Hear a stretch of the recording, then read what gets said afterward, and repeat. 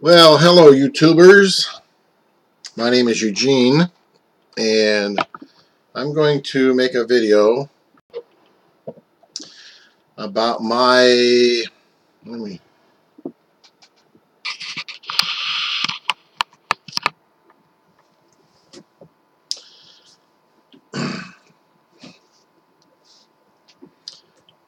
Well, hello YouTube. My name is Eugene and I'm going to make a video giving you my impression of customer service, the phone quality, and pretty much overall my experience that I've had using um, Freedom Pop Wireless. Now just to give you a quick background, uh, I have the Galaxy S3 with Verizon my wife has a prepaid prepaid plan with T-Mobile, also with the Galaxy S3. I found these phones to be a very good phone, even though they're a couple of years old. Um, they fit our needs. When my daughter wanted to get a phone, she's 12. Um, we were considering both Freedom Pop and Republic Wireless. Now, Republic Wireless has a great uh, service. Um, they offer the Moto X and the Moto G phones. Um, they have plans that are very competitive. They use the Sprint network when outside of Wi-Fi. Otherwise, they have uh, phones that use Wi-Fi primarily. They have plans as low as $5 up to $40 per month, depending on what you need. Um, now, uh, Freedom Pop also uses uh, Sprint when it's outside the Wi-Fi network, but when it's within the Wi-Fi network, it uses whatever Wi-Fi you have at home, work, or coffee shop, wherever you're at, to make calls, texts, and data. The advantage to using Freedom Pop was, even though the phone was a little bit more expensive, um, as long as we stayed on um, uh, Wi-Fi and or didn't exceed the minutes and data, whatever limits we were given, the plan itself is free. Uh, with Republic Wireless, it, again, it does similar things, but there's a, a, plan. The minimum plan for them is five dollars, and because of my uh, two phones I currently have, and the fact that I'm unemployed right now, are actually underemployed right now. I lost my full-time job. I'm still working part-time, but I'm, I'm collecting unemployment because of my part-time status. I didn't want to get into a contract. I didn't want to have to worry about doing making even a $40 bill every month uh, for my daughter. So that's why we, we, we chose Freedom Pop. Now, when I first went to Freedom Pop's site, the first thing they ask you to do is enter your email address and also enter your zip code so they can see if there's service in your area. Um, I, am familiar with the Sprint network in this area. I know it works, but that's a requirement before you can do anything. Can't even see the phones or the plans, nothing. So I did that. Next screen that comes up is them asking for your address, again, for them to verify their service in your area, which I did. Once you get to that point, or get that enter that information, you can now see the phones and the plans that they offer. Because we, my wife and I both have the S3, my daughter wanted to get the S3. That was important to her to have the same phone that we have. So they offer that phone for $200. I went ahead and made the purchase and at the end of that that process, they tell you that it's you're going to receive an email with your uh, information about when the phone is shipped, but given no ship date, the shipment date. Um, I waited, uh, I believe, about a week or so, and then I contacted them, and they told me that the phone was on back order because it was very popular, and it would take one to two weeks for me to get the phone. In fact, uh, that was on the, uh, by the way, that was on the 12th of June when I ordered the phone. And now that I look here on my Twitter, I see on the 23rd, I said a week, but it was actually a little longer than I guess. It says here that, um, yeah, they're telling me here the S3 is on high demand, and because of that, it's on back order. you should receive an email with your shipping confirmation in one to two weeks. Um, on the 26th, I sent them another Twitter tw uh, tweet asking that there was something in my someplace in my account where I can look and see or when any, any additional tracking information. In other words, even before I see the email, maybe there's something that pops up in my there's something under my account that would say, okay, your phone's on back order. I looked, I couldn't find it, so I sent them a message asking about it.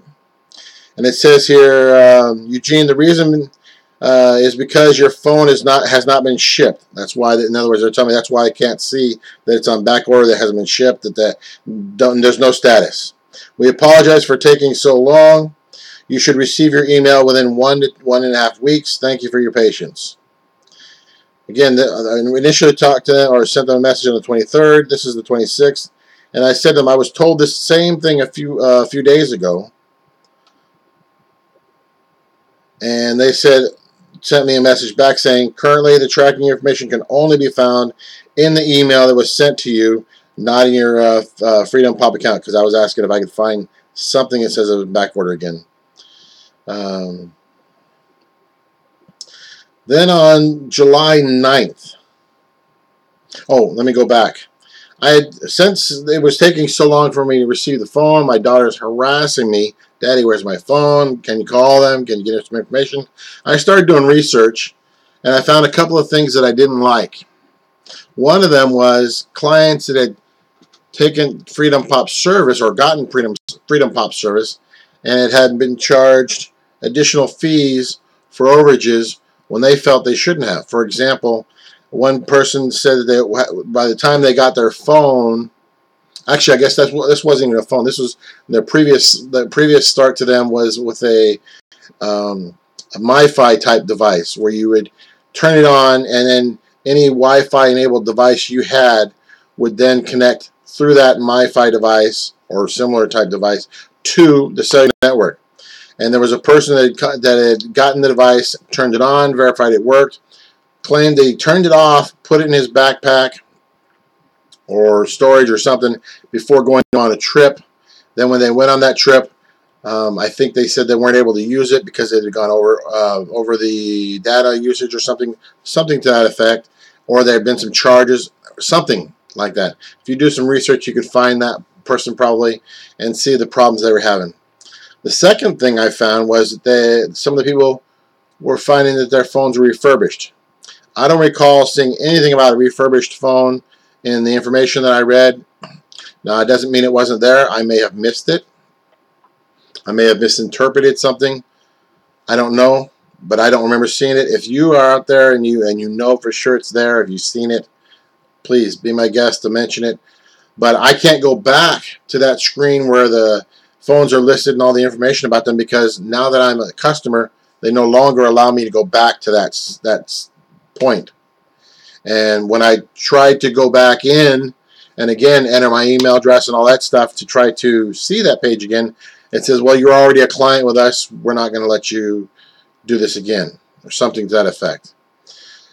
So anyway, the second thing, oh, those are the two things that I, I found a little disturbing. Oh, and there was also somebody, uh, people talking about some overages. For example, there was one person who had waited for their device a period of time and they had uh, got charged. I guess they went. They got overage. That's what it was. I think that's what it was. They had overages because there there wasn't a full 30 days in their cycle when they contacted Freedom Pop to find out why they hadn't received a full 30 30 days of service.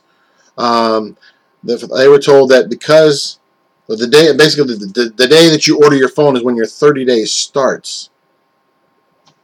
That doesn't make sense especially in somebody in my position where the phone wasn't even sent for a long period of time, and I'm going to get to that in a minute. And just to give you an idea what I mean is my phone was ordered on the 12th of June. It wasn't received until well into July, and I'm going to go over that in a minute. Yet here we are on the 25th of July, and it tells me that I got four days left on my billing cycle. four days on a billing cycle where I've only had a phone for a week. It's supposed to be 30 days of service. I don't understand how that works. And they, they were told, well, um, and since you've all, and, and I guess there was also somebody who had ordered a phone, wasn't happy because they hadn't received it, and finally tried to cancel. They said, oh, well, you went beyond your 30 days. Well, 30 days of doing what? Waiting for nothing? Waiting, wait, they didn't have anything, any service to compare it to. No, or no, no, nothing to compare it to. They didn't get his phone, so they couldn't use it. So they really didn't get a 30-day cancellation um, uh, po possibility of canceling within 30 days because they didn't get the phone. And that's the, kind of the situation that I'm in. Although I am able to return my phone, and again, I'm going to get to that. So finally, on the 9th, I sent them an email, and like I said, they told me it was going to be one to two weeks. This is on, on the ongoing story, always. Doesn't matter, you know, but as you can see, it's been many, many days here. In fact, I think, yeah, 27 days, and they're still telling me one to two weeks. Well, that's what they told me 27 days ago or so. Uh, and uh, and I, I basically told them, I said, that was the story last week. Just say you have no idea. Be honest with me. Tell me what's going on. Tell me, I don't know. We got the phones. We've ordered them. They haven't come in. We don't know. So anyways, I contacted them again. Let's see. I must have contacted them. I guess I called them because I don't see it here. No, I know there was a tweet here, uh, tweet here somewhere anyways, I don't recall. Somewhere around here, I, I finally sent them a tweet, a tweet asking them, you know, I see online that some people are saying they're getting refurbished phones. Is my, my phone going to be refurbished, or is it going to be a new? It's a two-year-old phone. I thought $200 is a great deal for it, a brand new phone. And they said, no, your phone would be refurbished. Um, and no, I can't find it, but it, was it was in here.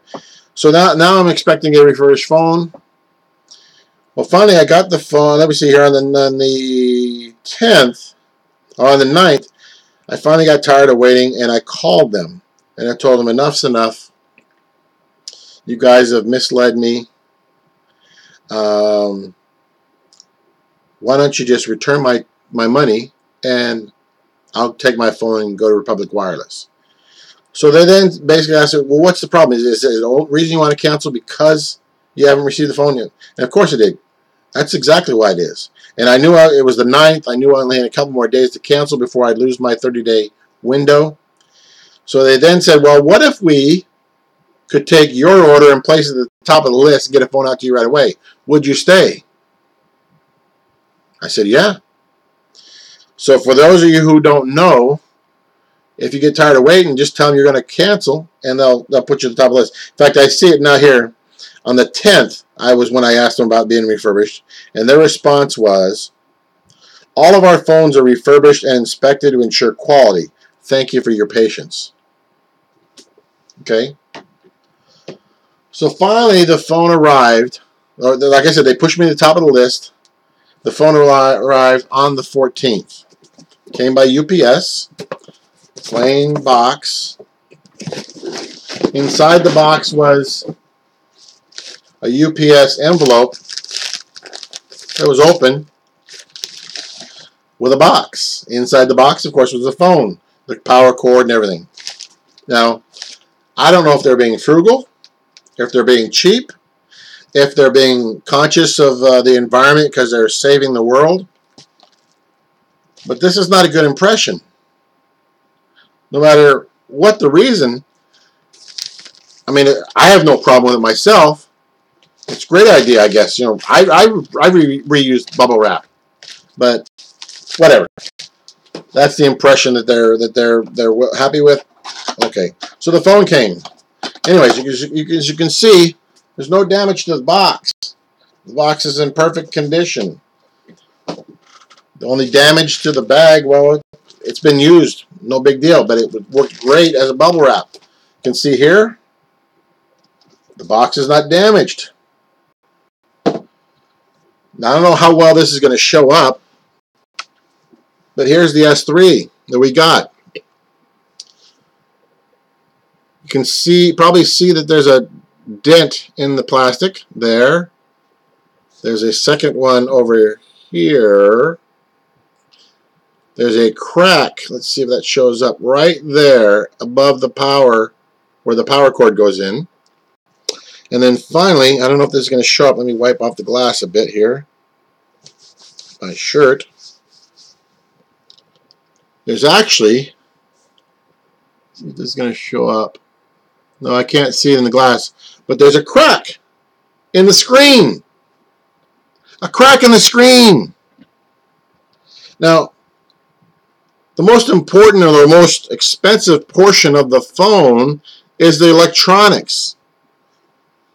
If you're going to sell refurbished devices, you save the electronics and you replace the pieces that don't cost hardly anything. Especially on a two-year-old phone. These, these plastic pieces, even the, the glass itself is very inexpensive.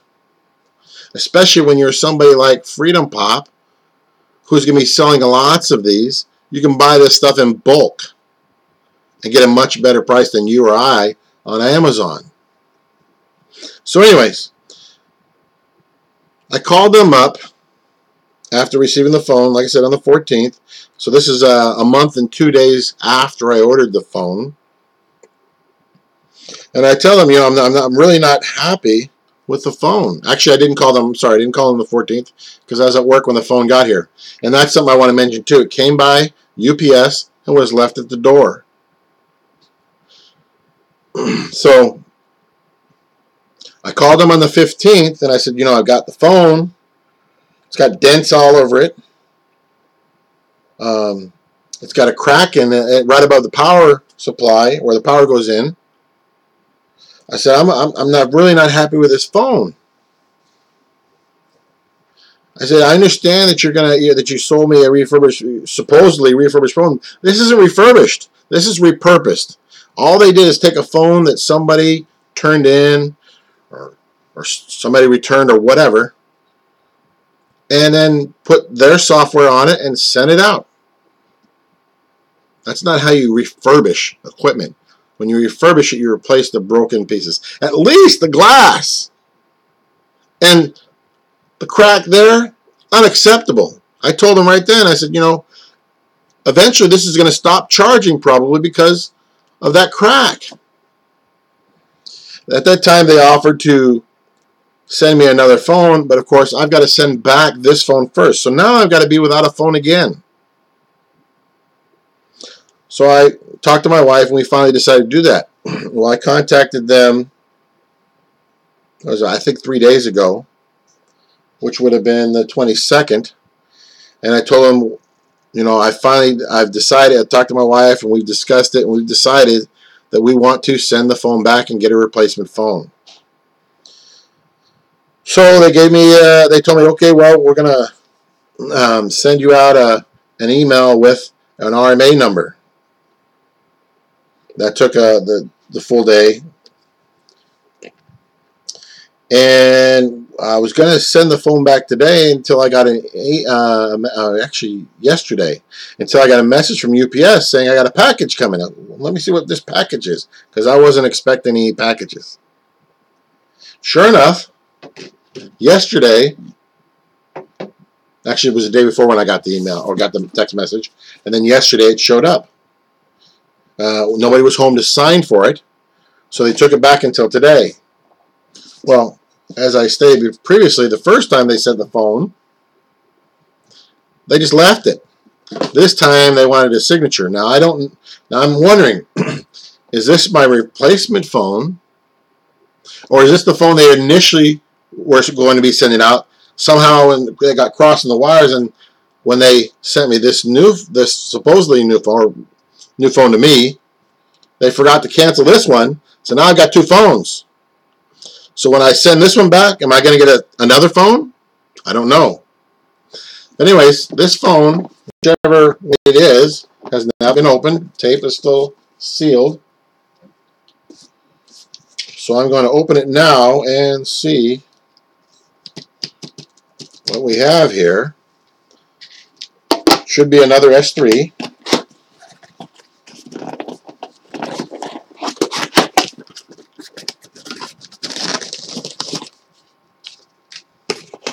Packing. Well, maybe this tells me that whether that's a replacement phone or if it's the initial phone. Um, doesn't say, just basically the shipping label. And uh, at least this time the the uh, bubble wrap's not all torn up, not pre-used, previously used.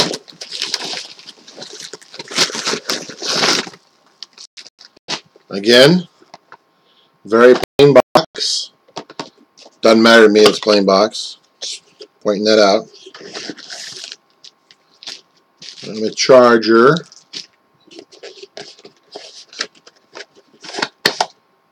Holy cow.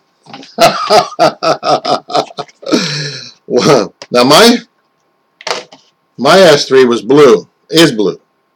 My wife bought one from T-Mobile was white. My daughter really wanted a white one.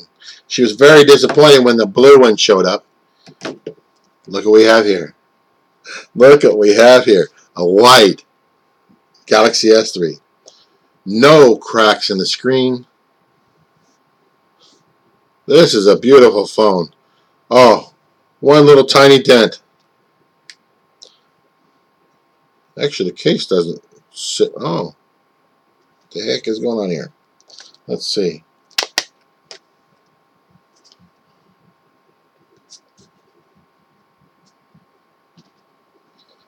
I'm not sure what's going on here. The case doesn't quite fit. Looks like.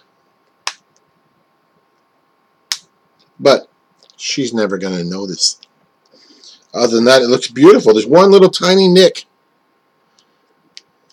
And, and the case, like I said, doesn't fit quite right, but I don't think she's going to notice, especially since she's going to have it in another case. But the important thing is this charging charging port looks intact. Looks perfect. Whereas, like I said, on this one it was cracked, and what I forgot to mention was I was right. It has stopped charging. I've had it for just just about a week. Stopped charging yesterday. So I'm glad I got that uh, process started before that actually happened. The service has not been a big deal. I haven't had any issues that I can speak of.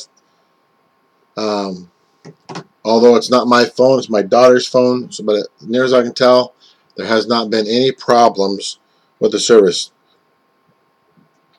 Now, but uh, my overall impression so far with um, uh, Freedom Pop has not been stellar. Now, you get what you pay for. We're getting a free service. We're buying a phone, but you're getting a free service. So maybe that's what I should expect. But uh, I would like a little more honesty with the company. Just come right out and say, you know what, we're on back order. We don't know when you're going to get your phone. Rather than every couple of weeks, one to two weeks, one to two weeks, one to two weeks. I can't imagine the number of phone calls they're getting, the number of Twitter uh, uh, tweets they're getting, I don't know what the problem is in their supply chain, why they can't get more of these phones quicker. But um, anyway, I'm not impressed. Hopefully, they, my opinion will change. But right now, um, uh, customer service is poor. Um, quality of the phone is, not, is poor in the fact that they're not refurbishing them. They're just sending them out. I'm just got lucky, and this one is uh, a good looking phone, I guess. Um, if you have any questions, go ahead and put them in the comment section. Um, if you've had a better experience, I definitely want to know about that. If you guys have had a bad experience, well, that's up to you whether you say it. But if you had a better experience, we definitely want to support these startup companies, these smaller companies. Um, but uh, I think I really think they need to step it up. That's just my opinion. Um, we'll see how it goes. Anyways, I'll be sending this blue one back and waiting to see whether or not they're going to send me another one. Oh, by the way, something I forgot to say. I told them I wanted to return my phone, my daughter's phone actually, and I got an email. I thought it was a mistake yesterday saying my account was canceled. Sure enough, I look here and it says your account has was previously canceled. To reinstate the service, add a new data plan. I, I hope I'm not going to have a problem when I go to turn this phone on and activate this phone. Reactivating on this plan, we'll see. Uh, I may add another video later. Uh, so I will if I have a bad experience. If I have a good experience, well, I won't say anything. Because I'm hoping for a good experience. So if you don't see anything else, assume that everything went well. I think that's it. One more thing. Actually, there is one more thing. If you decide to go with Freedom Pop, understand that the free plan is only free as long as you don't exceed the minutes and text and uh, data when you're on the Sprint network. If you do, there are additional charges. Now, to make sure that you don't get charged, you can call them up and tell them to turn off the auto top off, I think they call it. Um, I think that should be automatically turned off. You should have to request to have it turned on. I would not have known that if I hadn't gone online and seen that someone had gotten some charges they didn't expect. And the representative left them a message. It might even been in their forums. I don't recall where I saw it. That said, turn off the auto top off. Well, if you don't want to have it auto topped up, turn it off. When you want to have it added on, you can then contact them, or actually, I think you can even do it through the phone, through their app, and have it added on uh, at that time. Other than that, uh, other than that, I'm signing off. Um, I will stick with Freedom Pop for a couple of months at least, and make sure that everything's going well. Um, if I'm not happy after that, then I'll have to do something different. At this time, I am sticking with Freedom Pop. But Freedom Pop, if you're seeing this, um, these are some of the complaints I have. I'm sure there are other people. I've seen them online. I've seen them in your forums. You guys need to step it up. Thanks for watching my video. If you like it, please uh, let me know by using that, uh, what is it, up arrow, or up thumb, thumbs up. If you don't like it, well, you can do that too. Thanks a lot.